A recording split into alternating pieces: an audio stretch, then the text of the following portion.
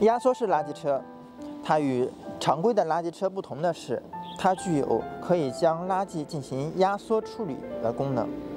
这就意味着，在同样体积的垃圾车的容量情况下，它所容纳的垃圾将会更多。再加上它的货箱完全密封，清理起来呢也有自动化清理功能，这就使得它在环卫车行业里。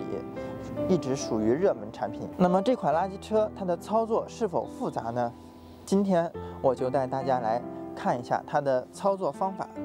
当然，在操作之前呢，我们需要对这款车型进行一个检查，看看螺丝是否有松动，需要加注润滑油的地方是否都加注到位了。如果没有问题呢，我们现在就开始操作。第一步，我们先要打开车辆的总电源开关。然后呢，我们就要进驾驶室进行操作了。我们上车以后呢，就把车辆给启动，然后脚踩着离合，档位在空档的位置上，我们打开取离器开关，然后缓慢的松开离合器。在仪表盘的左侧有一个垃圾车的操作面板，第一个按钮呢便是我们的开关。现在它是亮着红灯，我们长按它会变成绿灯，然后点击装货。我们现在来到副驾驶一侧的车尾部，我们现在呢开始进行第三步的操作。我们打开车尾部的垃圾箱操作盒，第一个按键为单次循环操作，第二个按键为重复循环操作。这里的四个按键呢，对应的是。循环操作里的四个工序，这里是照明灯、停止按钮。我们现在按一次单次循环操作，我们可以看到每一步操作呢，相对应的步骤，它灯会变蓝色。垃圾箱内部呢，也进行了一个单次循环的操作工流程。循环操作开关，我们按了一下呢，就会无限的重复单次的流程。需要停止的时候，我们只需要将它再次按一下。中间这个按钮便是操作垃圾箱的挂桶架上升和下降的。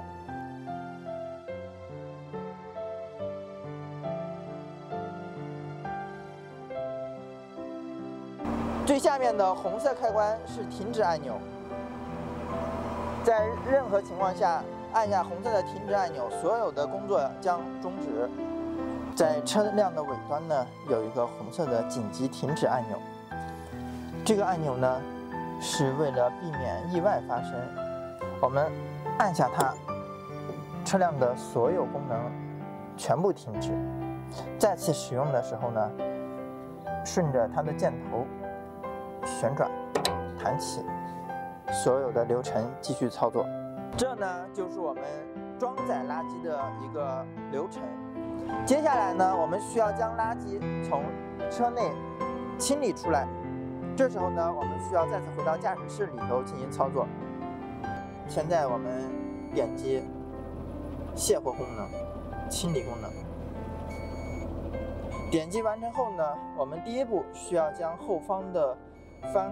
斗给升起来，我们只需要长按上升的翻斗上升的开关就可以了，按着不松手。我们现在也长按着推铲向外推，货斗上可能会残留一些垃圾，按下这个自动清理功能，货斗的清理会自动的进行。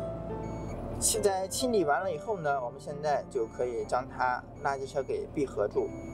我们点击货斗下翻功能，点击货斗下翻功能的同时呢，刚才推回来的推铲也会自动的往里面收缩。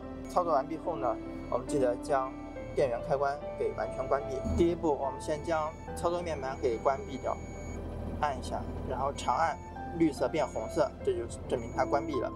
然后脚踩着离合，将取离器开关也关闭，松开离合器，我们所有的操作就结束了。